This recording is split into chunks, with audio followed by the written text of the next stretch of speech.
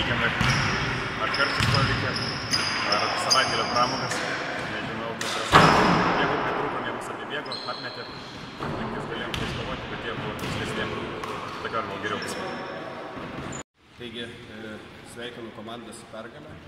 Varžovai pirmus kelnius davė rimtą kovą.